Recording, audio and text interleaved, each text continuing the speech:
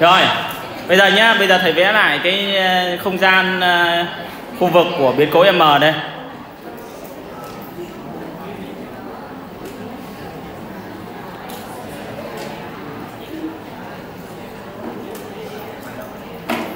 Đây là khu vực của không gian biến cố m.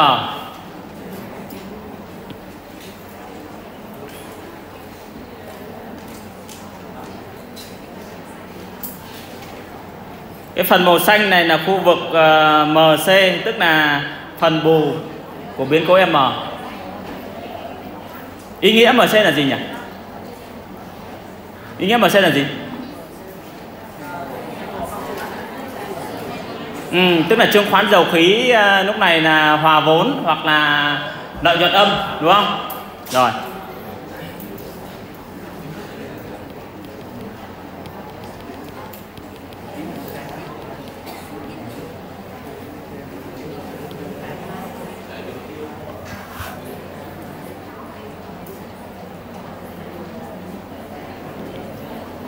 Cái khu vực màu vàng này lúc này là gì nhỉ? Biến cố C đúng không? Biến cố C.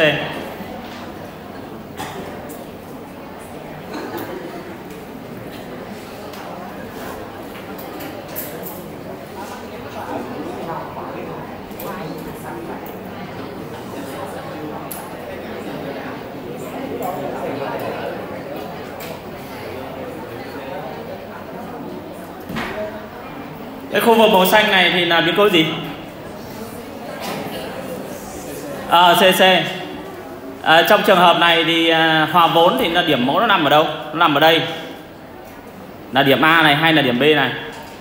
Điểm nào ví dụ một điểm hòa vốn thì nó phải nằm khu vực màu vàng hay là một khu vực màu xanh? Rồi màu xanh chính xác. Màu xanh bao gồm cả hòa vốn và lợi nhuận âm. Rồi chính xác.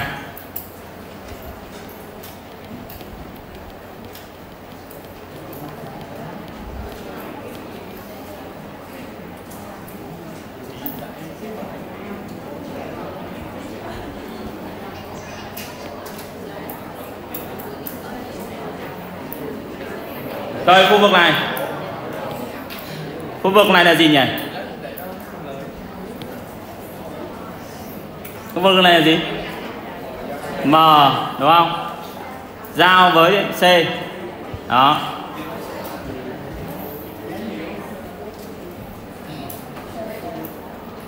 Giả sử uh, uh, trong danh mục đầu tư của anh chàng tài này thì chứng khoán dầu khí à, có lợi nhuận dương và cái chứng khoán uh, than đó thì hòa vốn thì có thuộc vào khu vực xanh này không? À không thuộc đúng không? Không thuộc khu vực màu xanh.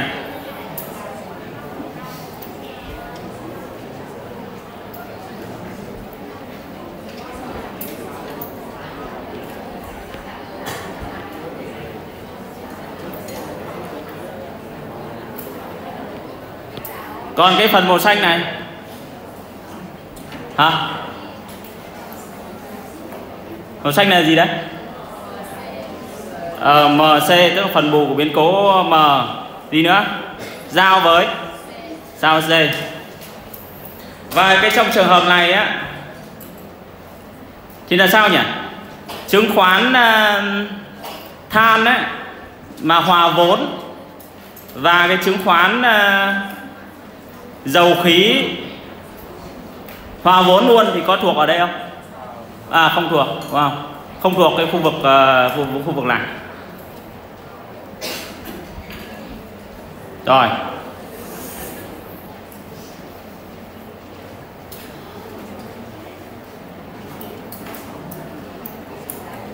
Rồi bây giờ vận dụng đây. À, các bạn hình dung là như vậy này à, nếu mà các bạn mai sau đi ra trường làm ấy mà làm việc cho một cái tổ chức công đoàn á đặc biệt là cái tổ chức mà bảo vệ phụ nữ ấy. Ví dụ trong cơ quan ấy thấy rằng là à, cái người nam thì có phái mạnh thì có cơ hội thăng tiến nhiều hơn phụ nữ. Thầy đã từng đi ra cái trung tâm Hoa Kỳ rồi. Nó có thống kê ngay cả ở Mỹ, các nước phát triển nó cũng có hiện tượng đó, chứ không phải mỗi ở những nước như này đâu. Và họ làm cái hội thảo đó đúng ngày mùng 8 tháng 3 luôn. Bây giờ các bạn làm việc cho các tổ chức công đoàn, bây giờ chứng minh rằng là cái cơ hội thăng tiến của phụ nữ hiện nay không công bằng đối với nam bây giờ cứ gào lên như thế, ai ta nghe?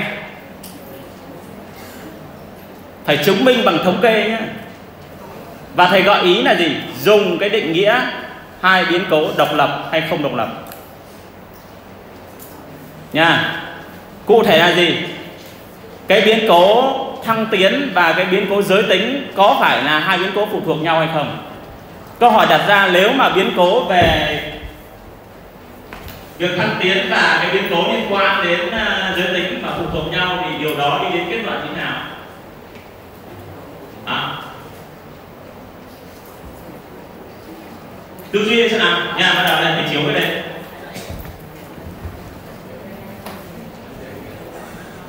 đây, chụp lại cái số liệu này.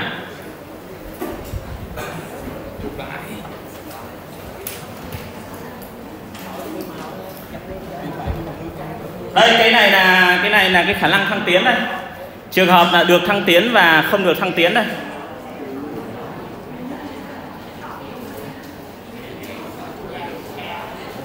Biến cố A là biến cố mà được thăng tiến. Biến cố AC là biến cố phần bù của biến cố A tức là không được thăng tiến. Và đây là một bảng xác suất đồng thời M là liên quan đến à, giới tính nam đây. W liên quan đến giới tính nữ. Bây giờ dùng công cụ thống kê để chứng minh rằng có đủ bằng chứng là hiện nay là công ty này à, cái cơ hội thăng tiến của nữ không được bình đẳng như nam chứ còn nói khơi khơi ai ta nghe? Ứng dụng đó. Học đến tận cùng của nó là nó thành uh, hiệu lợi hại như thế đó. Đâu còn là những cái ờ, thuật toán nó khô khoa khô khan nữa đâu.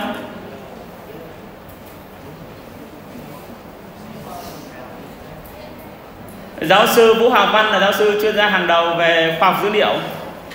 Được tập đoàn Vingroup mời về ờ, làm viện trưởng với viện dữ liệu lớn ông nói là xác suất thống kê là nền tảng của khoa học dữ liệu và là một trong môn có ứng dụng rộng rãi nhất trong cái thời đại ngày nay. Nếu mà chúng ta không đơn thuần là nhà phân tích chuyên nghiệp thì phải đọc biết, đọc hiểu các cái báo cáo thống kê nhé.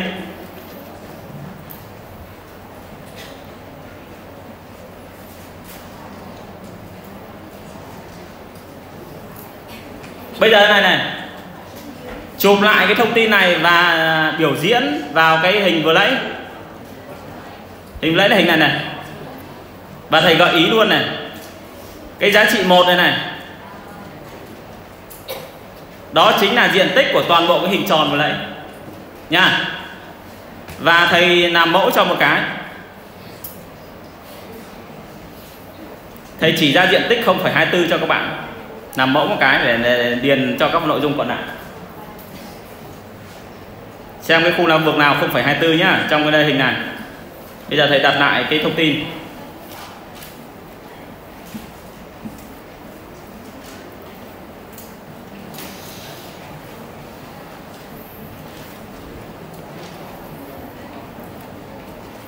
Bây giờ câu chuyện đặt ra là không còn ờ, là M và C nữa mà bây giờ câu chuyện đặt ra là gì nhỉ? A là thể hiện cho cái ờ, việc được thăng tiến thì ở đây A đây, A đây. Nha. Ở đây là AC đây.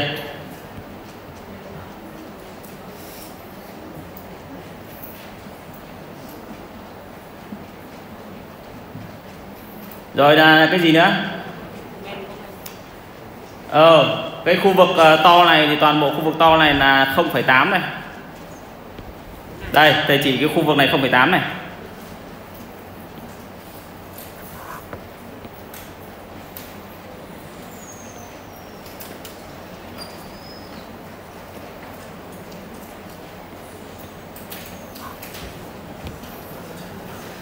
Toàn bộ khu vực này diện tích là 0,8 Đấy nằm mẫu cho cái đó. Bây giờ chỉ ra diện tích của uh, các khu vực này là bằng bao nhiêu? Đây này Diện tích các khu vực này bằng bao nhiêu? Các khu vực thứ nhất là thầy uh, tô màu, uh, màu vàng đỏ này. Này bằng bao nhiêu? Dựa vào cái bảng xác suất đồng thời vừa nãy và cái khu vực này là diện tích bằng bao nhiêu? Phần màu xanh này. Nha thầy quay lại cho các bạn cái ờ, bảng xác suất đồng thời vừa nãy nhá, chụp lại để lấy có số liệu này. Rồi, chụp đi. Và biểu diễn trên đó tần này thông tin. Cái biểu điều ven đó phải phản ánh tần này cái số liệu.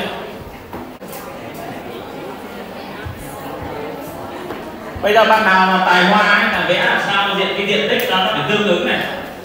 Cái này gấp 4 là thằng nào? Còn cái này là gấp khoảng độ à, hai rưỡi. Chứ đừng dùng chiếc bánh chia đôi nhé. Đó.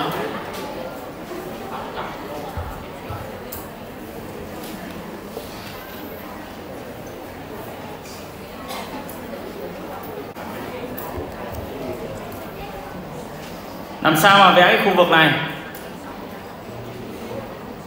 Gấp 4 lần cái khu vực này. Rồi khu vực uh, uh, 0,73 này. Thì nó gấp à, uh, 3 lần khoảng gấp 3 lần thằng trên. Ước lượng thôi đại khái thôi.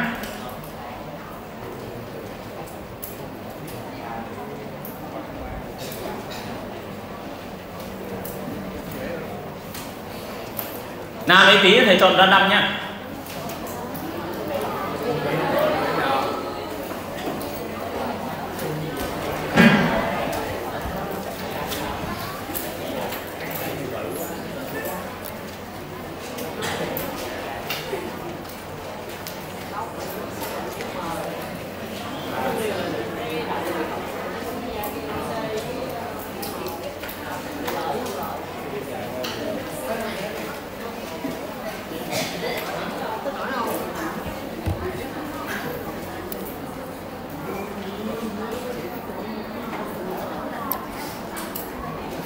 Và một khi làm ấy thì làm luôn câu này để chứng minh xem là có cái việc bất bình đẳng giới tính khi mà xét ờ, thăng tiến hay không.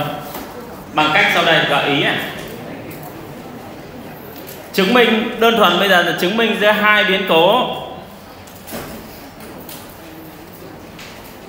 Biến cố A và biến cố M có độc lập hay không? Và biến cố A và biến cố W có độc lập hay không? Độc lập là sao nhỉ? Có công bằng không? Hả?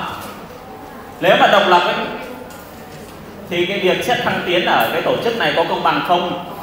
À có công bằng chính xác. Quá tuyệt vời rồi.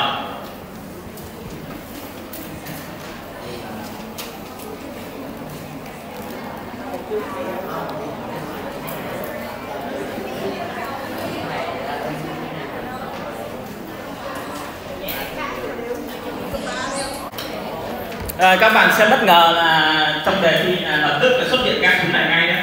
Thầy hàng cố gắng tạo cơ lợi thế cho các bạn ờ, có nỗ lực đấy.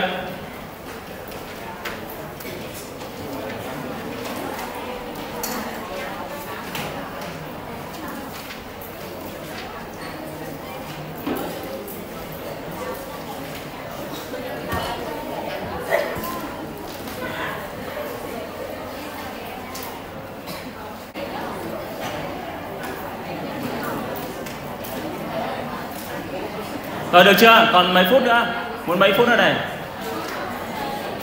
Rồi cho 5 phút nữa nha. 5 phút nữa là chụp sẵn tất cả trong điện thoại đó. Và việc đầu tiên là bây giờ phải viết tên, mã số sinh viên và ký tên trước trước khi làm.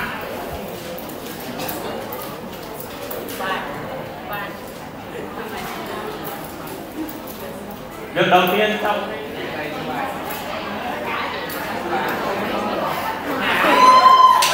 Rồi, tất cả các bạn có mã số sinh viên là hai của bọn em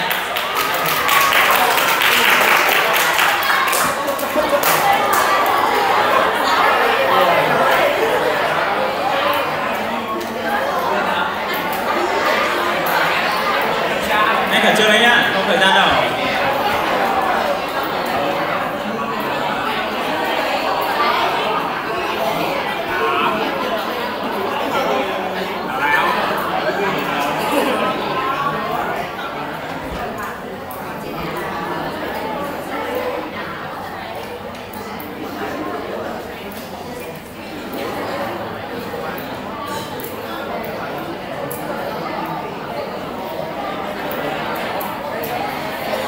Có ai muốn bình luận về bài này không?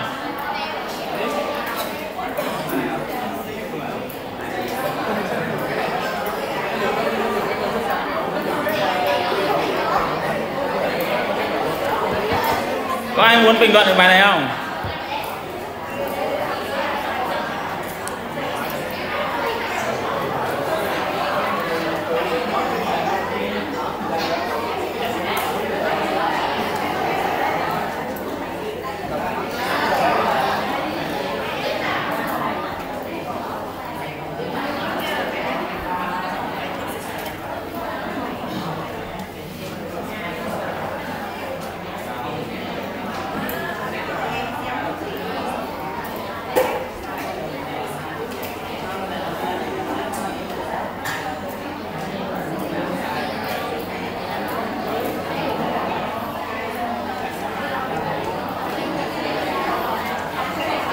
Một ờ, bạn thuộc nhóm được giao nhiệm vụ lên đây. Cử bạn đây.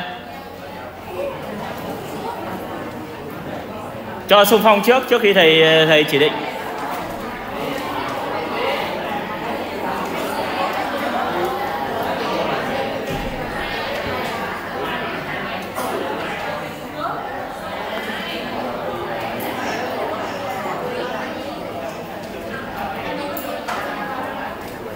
rồi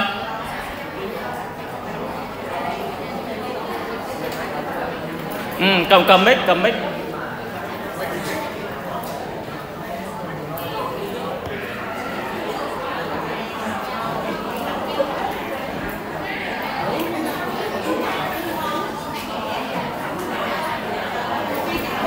Có cần thầy phải tô lại không nhỉ? Cho thầy mượn việc kia đi trước ấy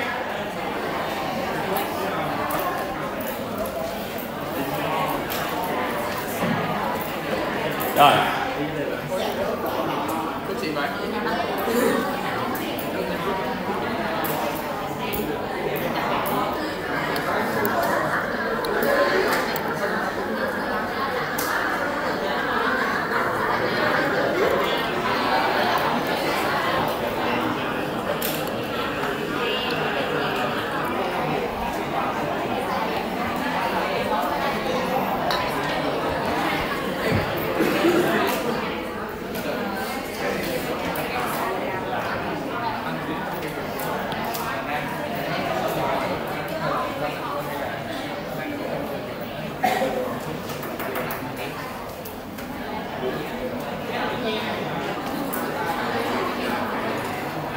Rồi bây giờ này nhá. Tất cả nhìn trước mặt cái đề vừa lấy đó. Thì à, Bạn vẽ cái khu vực à, 0,8 Xác định cho thầy biến cố M gồm khu vực, toàn bộ khu vực nào? Bằng hai cái nào cộng với cái nào đấy? Ở đây nó có bốn phần đấy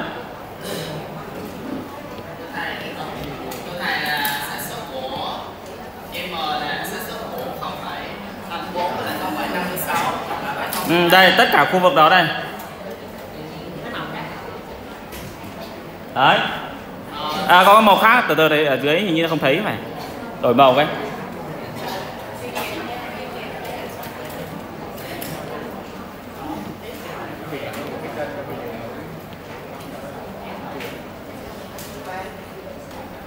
Được không toàn bộ khu vực màu xanh đó là 0,8 gì bằng 0,56 cộng 0,24 và cái ý nghĩa nó là gì nhỉ?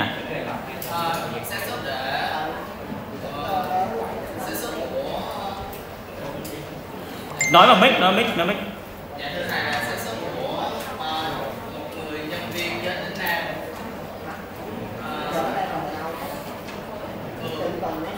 Là bao nhiêu? Bây giờ nhá, trong cái tổ chức đó nếu mà chọn một người bất kỳ trong tổ chức đó thì xác suất người đó là 5 vâng bằng bao nhiêu không phải tám chính xác. Rồi.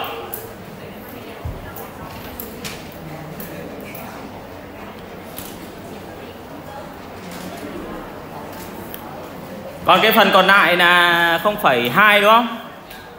Đây phần còn, phần còn lại là phần khu vực này.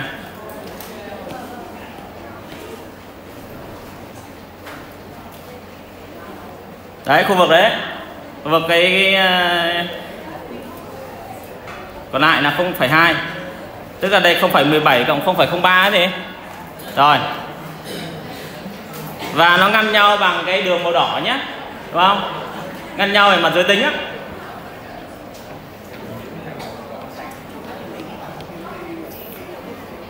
Bây giờ ngăn nhau bằng đường màu xanh sao nhỉ?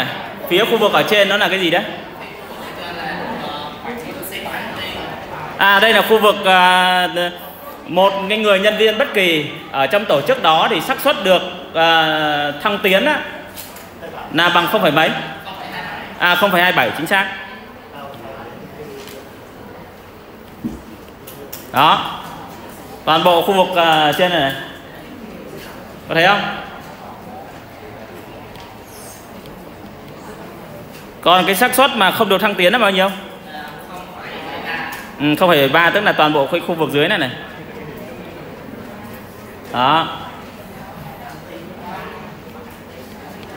tức là phân định bằng cái đường ờ, đường màu xanh nhé bây giờ ăn thua là cái 0,24 ý nghĩa là gì á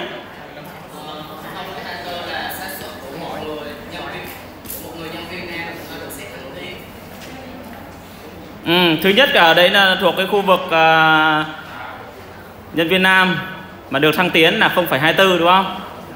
Rồi.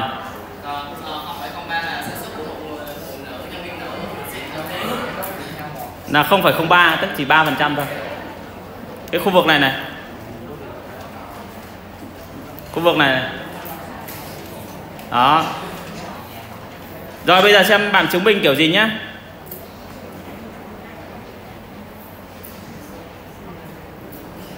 thứ nhất là dòng thứ nhất là đúng chưa đã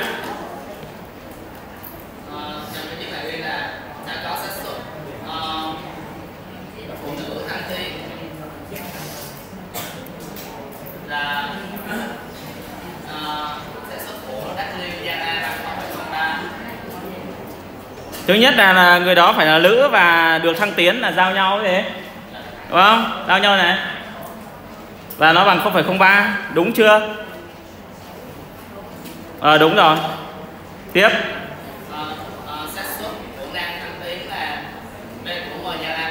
Ừ.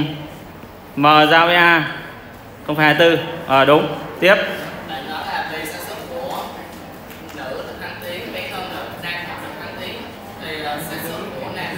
Ừ, cái này ờ, chưa đạt yêu cầu. Có cố gắng như vậy là ờ, tốt rồi. Nhưng mà chưa được. Bây nhá bây giờ xác định này bây giờ hướng dẫn này. Đầu tiên là tính xác suất này. Được thăng tiến. Khi biết trước người đó là nữ so sánh so sánh bằng hay là khác? Với PA nếu mà nó bằng nhau thì sao nhỉ? À đồng lập chính xác.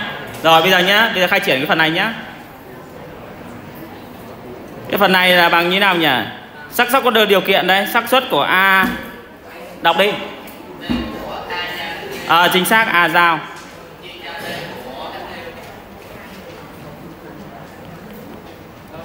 Xác suất của a giao với w là có biết luôn rồi này đúng không? Nó là khu vực nào đấy? À nó chính là 0,03 đây này. Trong bảng xác suất đồng thời sẽ thấy ngay. Đó. 0,03 chia cho.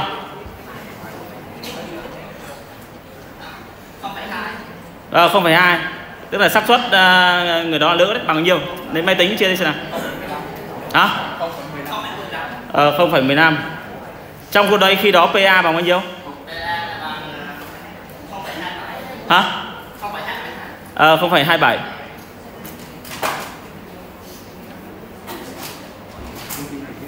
vậy là cái này bằng nhau không nhỉ? À, không bằng nhau. Và có căn cứ thống kê để chứng minh rằng là cái việc xét thăng tiến ở cái tổ chức này là không không bằng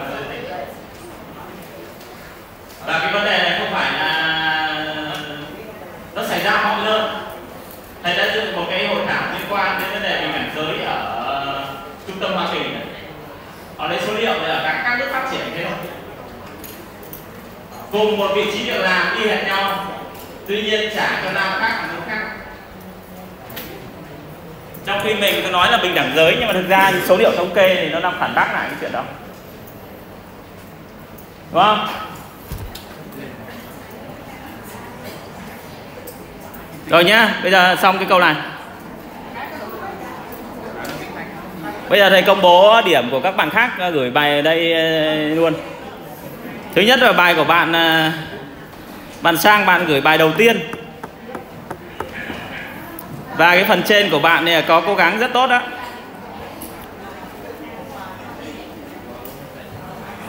Bây giờ bạn sang có muốn thử thách không? Đâu sao rồi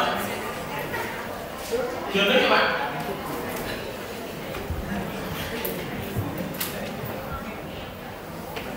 Em muốn dừng cuộc chơi ở đây là thầy công bố cho em một mức điểm. Hay là muốn uh, thử thách thì để, để đạt cho nó rõ. Dạ. Hả?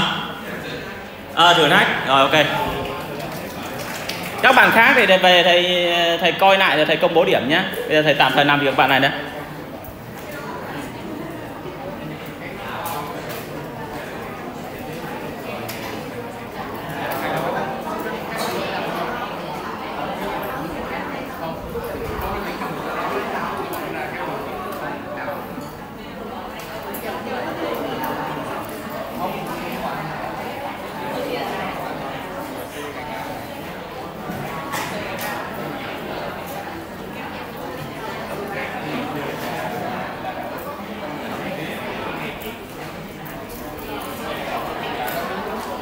Bây giờ thầy đang gợi ý cho tất cả các bạn câu này đấy.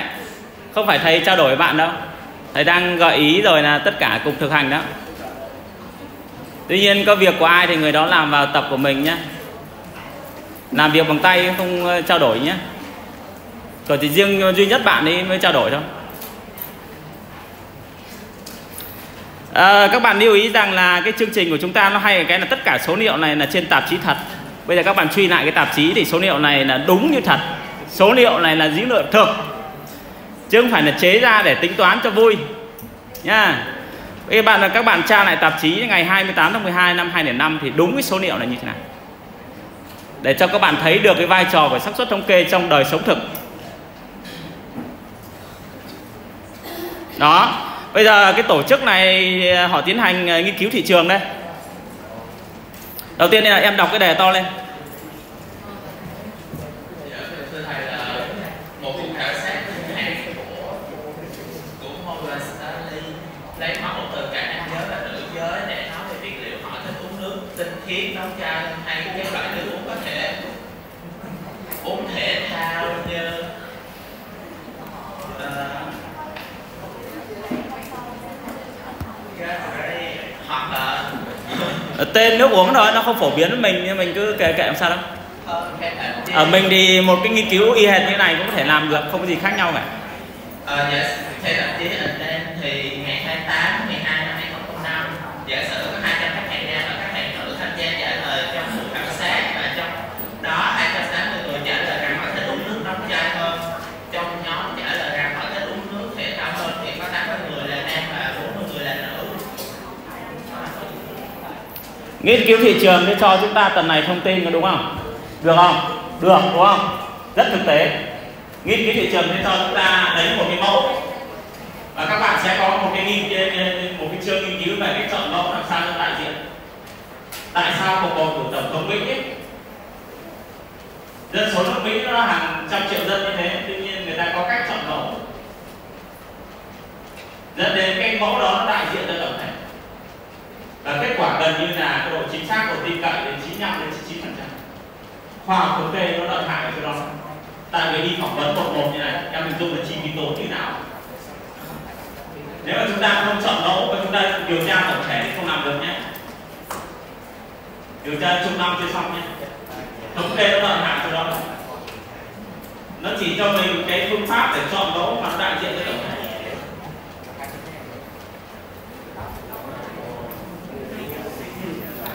Bây giờ như vậy này, cái việc đầu tiên ấy là bây giờ thầy à, em chỉ việc nói thôi, còn thầy đánh máy cho.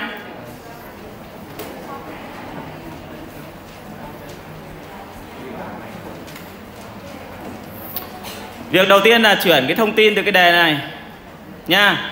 Đầu tiên là lập một cái bảng. Bây giờ là lập một bảng xác suất đồng thời. Nhưng mà trước khi có bảng xác suất đồng thời thì chuyển các cái số liệu dạng tần số này trước tất cả viết viết đi. Bây giờ thầy dùng à, các cái thuật ngữ à, gốc bằng tiếng anh cho nó ngắn gọn nhé hay là thế nào đây? Ờ tiếng việt. Thì cái này gọi là nước à, gì nhỉ? Nó gọi nước gì? Nước tinh khiết.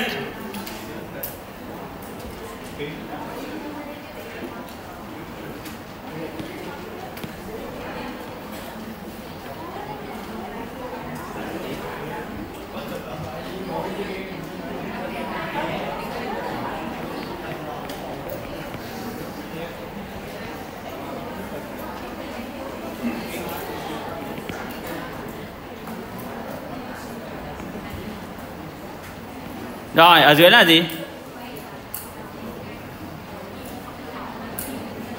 À, nước uống thể thao.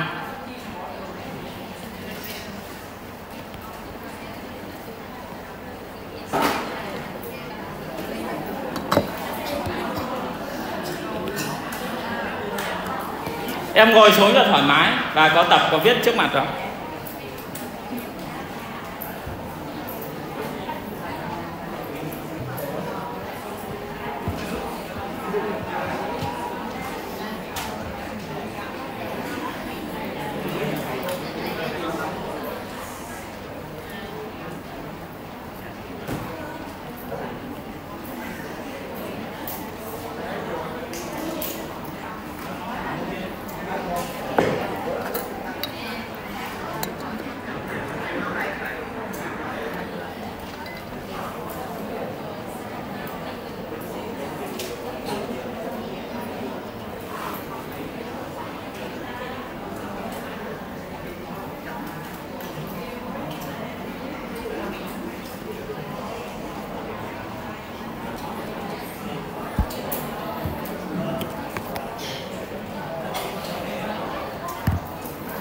Rồi, bây giờ em điền đi để thầy ờ, sang xác nhận ờ, kết quả cho em. Điền, từ các thông tin của đề vào cái bảng ờ, tần số này.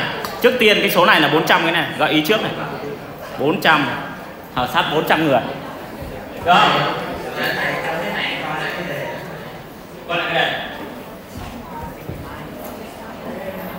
Rồi, chụp đề đi.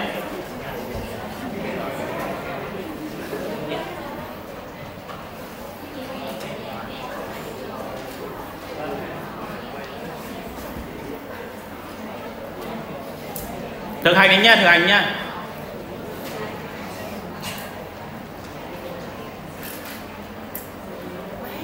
thầy đang làm mẫu cho câu, các câu khác thì cũng tương tự.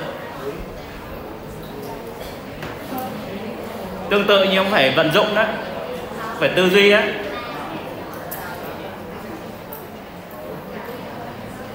thấy chưa? Xong nhá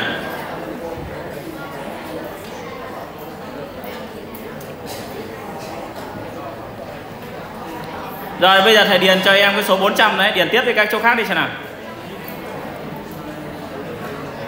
Nên lên bảng chỉ chỗ nào ờ, thầy, thầy viết ờ, thầy viết cho chỗ đó.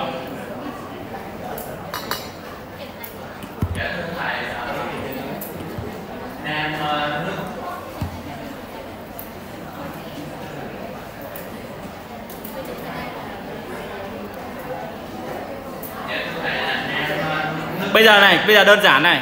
Con số 200 này em nhét vào đâu?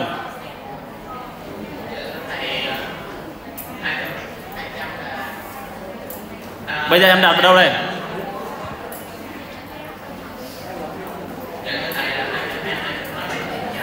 Bây giờ các vị trí này, A này, B này, C này, D này E này, F này GH Bây giờ ký hiệu rồi đó. Bây giờ 200 em nhét vào đâu? A B C D E F G H.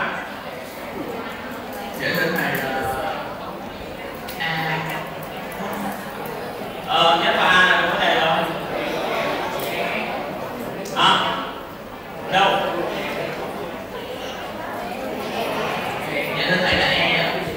Ờ à, chính xác. Đúng rồi chính xác. Cái này 200 nhá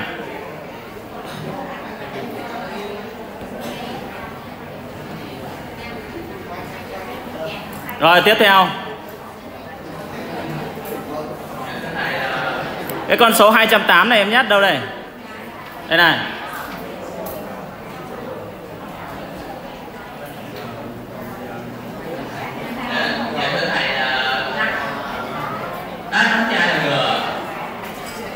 Ừ, cái này G. Em đặt này 208 gì đúng không? Rồi. Tiếp dạ thưa thầy là thể thao 80 là c 80 này nhét vào đâu dạ à C rồi 40 là d rồi bây giờ câu chuyện này có xác định được những cái thứ khác không hả bây giờ xác định được những thứ khác không Biết. là 120 ạ. Ờ, biết 400 và biết 208 này xác định luôn được H nhá. Hình dung không? Rồi.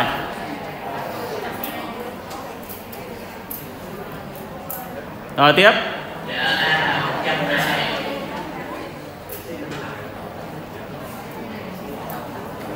Rồi, tiếp. b là 160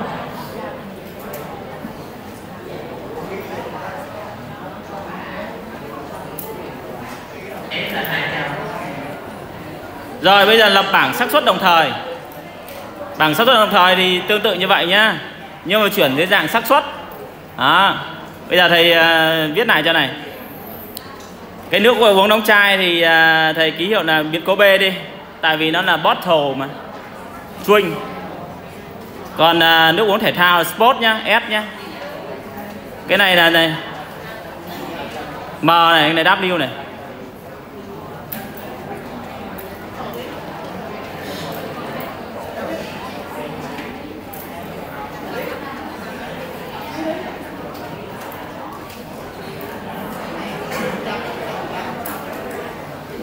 Rồi xác định nào. Chưa cần à, viết đề như nào mà chỉ định ngay một con số. Thầy m đây là 0,12 Không bây giờ thầy đang nói là chưa cần viết là đề đó kiểu gì Đề nào cũng thế thôi. Trong bảng xác suất đồng thời phải xác định ngay một con số. Dạ thưa thầy là ạ Số 1 là vào đâu? dạ Chỗ này hay là chỗ này hay chỗ này? dạ số 3 Ờ số 3 Quyết đơn luôn con số đây. Rồi tiếp.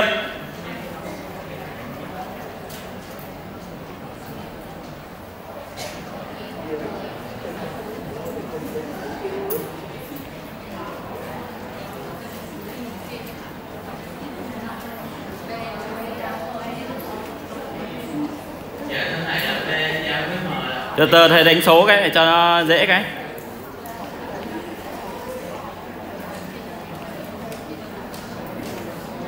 Đầu tiên là số 1 xác định sao? Lấy cái gì chia cái gì? À, chúng ta đang sử dụng sử dụng phương pháp tính xác suất gì đấy? Có 3 phương pháp gán xác suất. Là các phương pháp gì?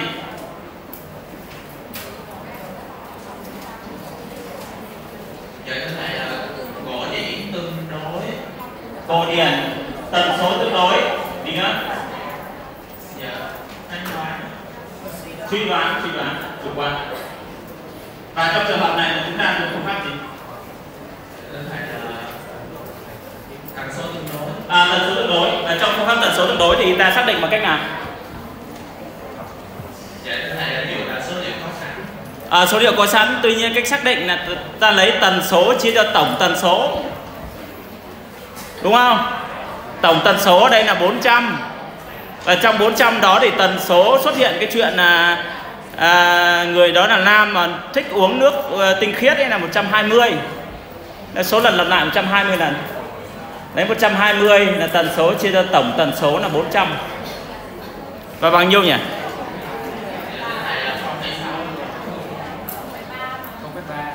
Ừ, 0,3 được chưa? Bây giờ làm mẫu cho các thứ khác nhé. Bây giờ thầy không uh, đi chi tiết đâu. Bây giờ tiếp tục câu A. Em uh, phân tích cái ý nghĩa của cái câu A này xem nào.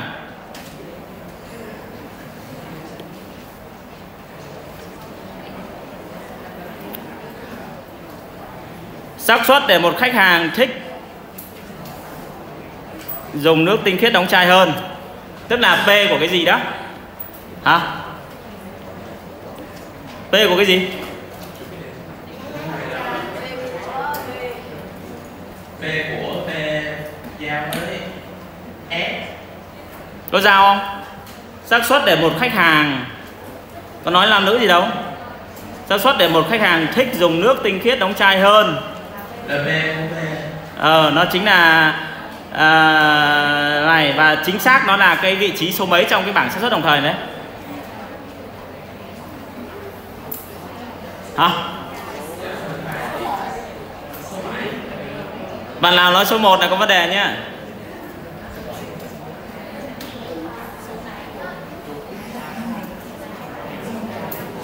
cái này là nước uống đóng chai mà mà số 8 gì hả? À số 7 chính xác, chính là số 7 cái này chính là số 7 đó. Nha. Rồi chỉ gợi ý thôi còn việc tính toán thì ờ, đơn giản. Tương tự câu B thì cũng thế nhá. Câu B đọc to xem nào.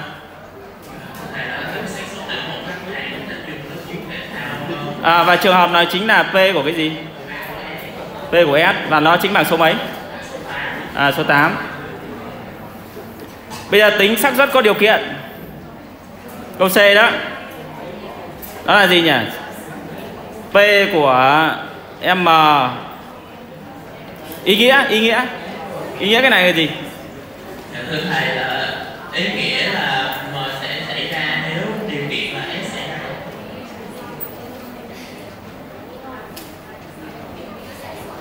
Nghe nó sao sao nhỉ? À, trình bày ạ. Dạ Dạ thưa thầy là xác suất học nghiệm của M ừ, không có hầu nghiệm gì ở đây nha. Cái này đang là xác suất có điều kiện thôi. Bây giờ thầy thầy gọi ý cho em này. Cái gì biết rồi cái gì biết rồi. Trong hai cái này thì cái nào biết trước đây? À mà chưa biết mà đang dưới là xác suất rồi cái này là biết trước này. Nha. Biết trước là người đó là thích uống ờ, nước thể thao rồi đó ăn thua là xác định là người đó là xác suất, người đó là nam là bao nhiêu, là nữ là bao nhiêu. Hình dung không? Hình dung không? Đây, cho bạn này mình trả lời. Bạn ấy muốn phát biểu gì? Thầy có thể nào là phở lên một tí được chưa? Rõ chưa? Hoành tráng chưa? Rồi. Ok không? Có nghĩa là trong trường hợp này á là à, biết là người đó là thích uống nước thể thao đó thông tin này đã biết rồi bây giờ ăn thua là à, chọn trong nhóm người mà thích uống nước thể thao ấy thì xác suất người đó là gì là lam là bao nhiêu Hình dung không? Đã bắt đầu ý nghĩa không? Nha, học xác suất có điều kiện mà không biết ý nghĩa là thua đấy nha. Và trong trường hợp này thì xác định sao nhỉ? Hả? thưa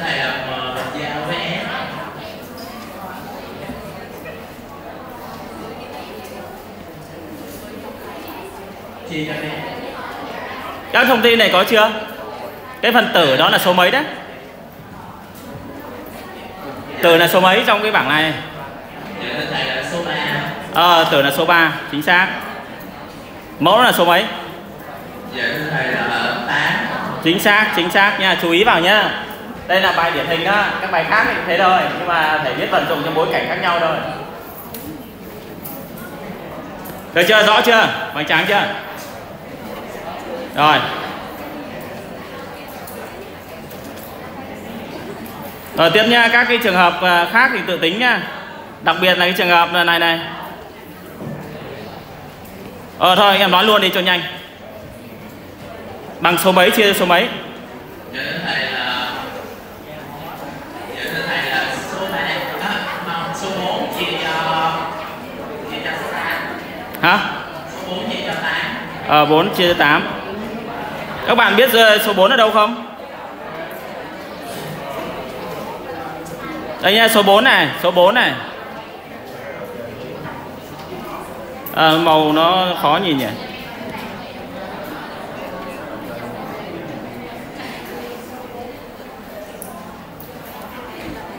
Ai bốn ở đâu nhá?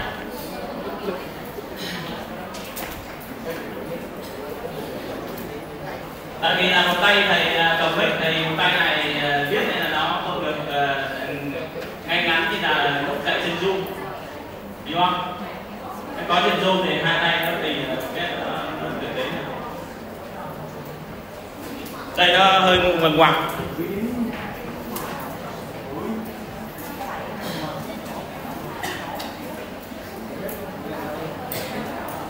rồi, tiếp.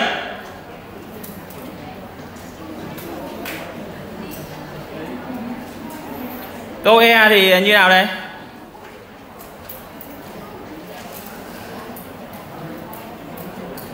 Câu e là sao?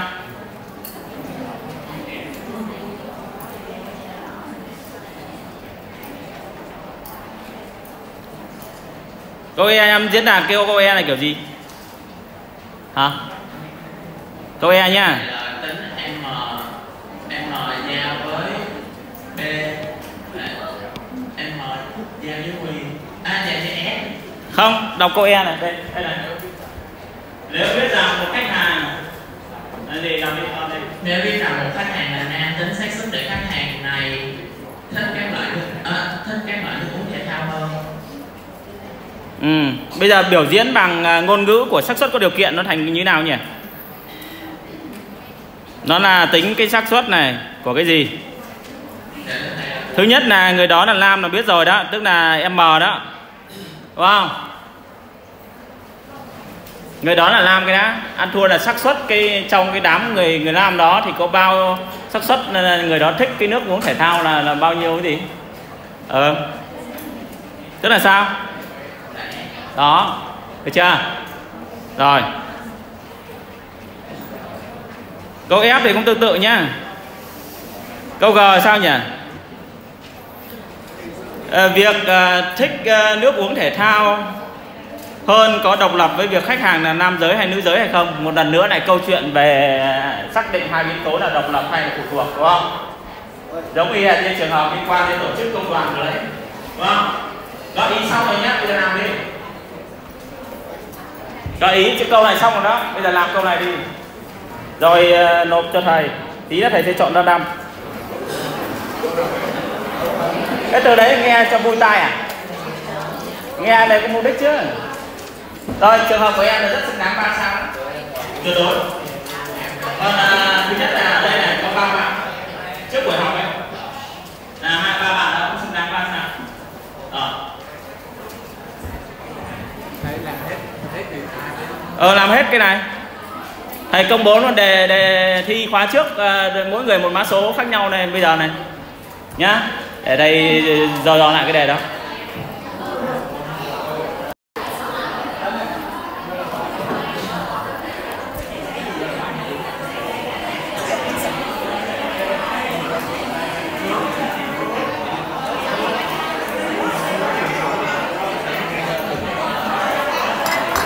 Bây giờ càng thực hành bao nhiêu thì đi thi nó càng sung sướng bấy nhiêu.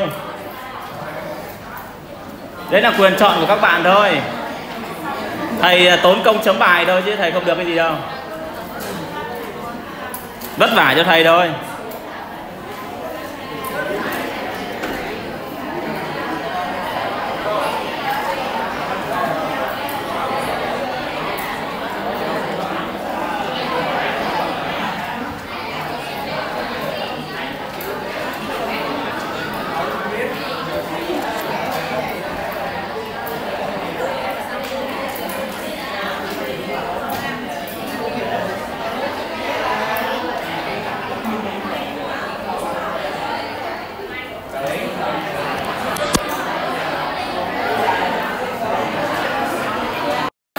Rồi bây giờ chụp đề chụp đề. Đây, đề thì thi nó sẽ thành như thế này đây. Và chú ý là gì? Cái giá trị n là số, chữ số cuối cùng của mã số sinh viên cộng với một. Thời gian. Cái này thì thấy các cái K43 người ta làm cái này chỉ có 10 phút thôi. Bây giờ thầy cho hẳn 20 phút.